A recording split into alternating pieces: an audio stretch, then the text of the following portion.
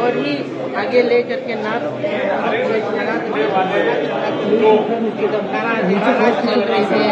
किन्हीं से बातचीत आपकी इच्छा है कि नहीं है?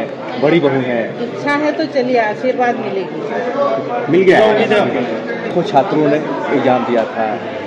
बिल्कुल छात्रों की भविष्य का सवाल है और सदन में भी उठा था।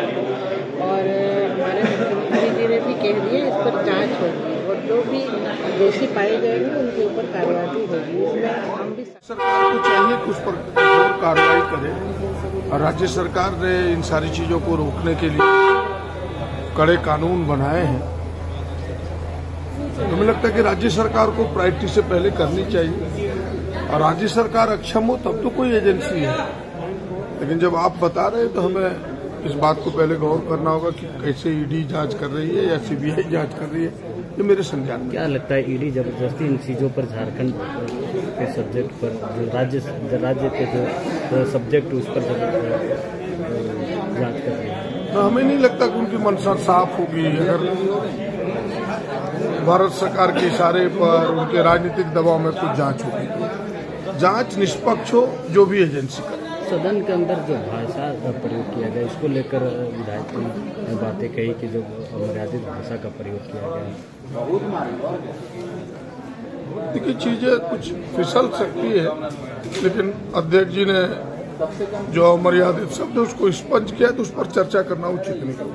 अब नए मंत्रिमंडल का विस्तार नए मंत्रिमंडल का विस्तार तो होगा ही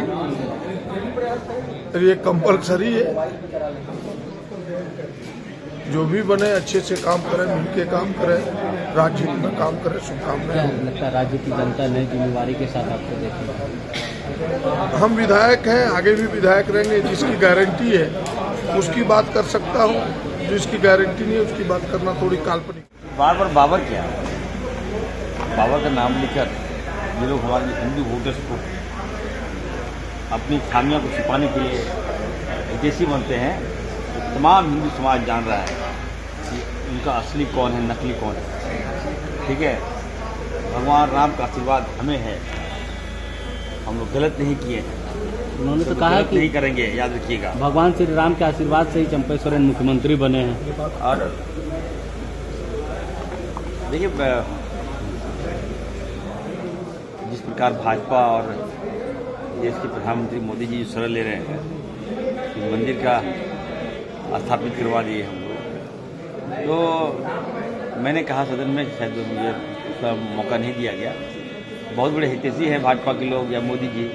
तो गरीब को जो पैसा लेके भागा गया है उसको ला के आप स्थापित कर दे देश में।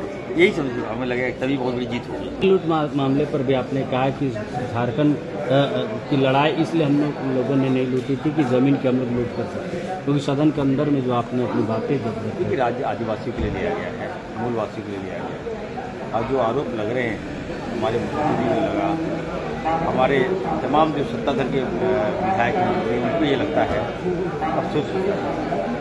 भाजपा का कार्यशैली अंग्रेज़ों की तरह है। ये अंग्रेज़ का पार्ट नहीं है।